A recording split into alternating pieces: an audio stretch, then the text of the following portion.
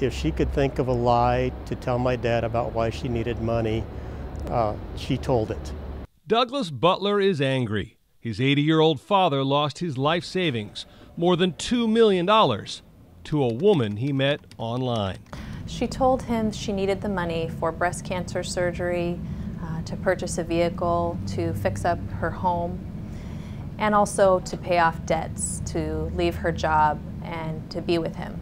Dad's always managed his own money, been very conservative, frugal, and the idea that he was handing away money, uh, $100,000 at a time, just never occurred to anyone.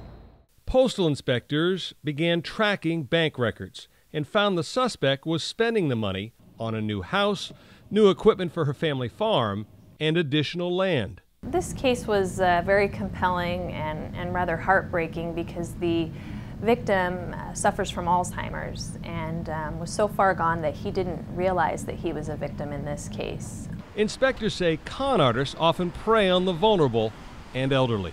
Currently, we're working on getting funds back to the victim. The farm equipment and other assets are being liquidated, and we hope to recover funds to return to the victim's family so they can help pay for his medical care.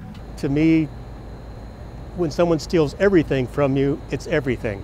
Doesn't matter what the dollar amount is.